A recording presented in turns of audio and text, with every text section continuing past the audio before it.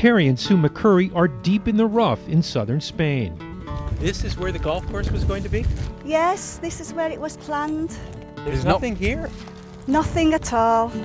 There's nothing being done with the golf course, and the developer has been selling properties on here, and people have been buying since 2001.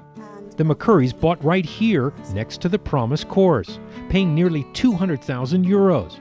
At least their house was built, but it doesn't have electricity. It doesn't work. No light. No light. Doesn't work. Still, you might call the McCurrys lucky. Compared with Martin and Delia Lewis, also British and retired, their 400,000 euro dream home a few hours away is still just a dream. They haven't started your Uh, house. they haven't started the what, house what- yet. what have you got? Let's take a look. Is this what your house actually looks like today? Uh, well, they, we haven't even got to this stage yet.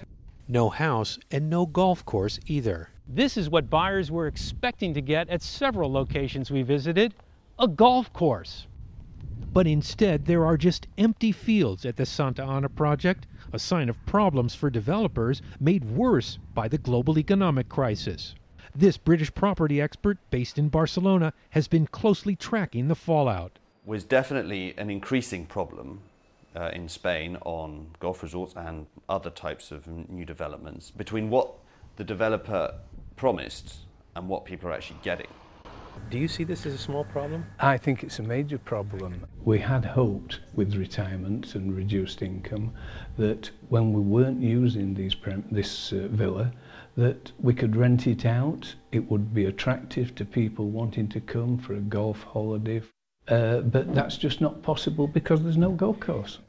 The Lewis's developer is under court supervised administration, but is still vowing to find the money to complete the project. In a statement, they told us, We expect within the shortest time possible to hand over the first property sold along with the first golf course. But the Lewises no longer believe the promises. It, it does give you sleep problems because you're very frustrated and very angry every day. We just feel as if we've been abused by these people. They've told, they've taken our money, they've done nothing in in way of compensating us. Al Goodman, CNN, Jumilla, Spain.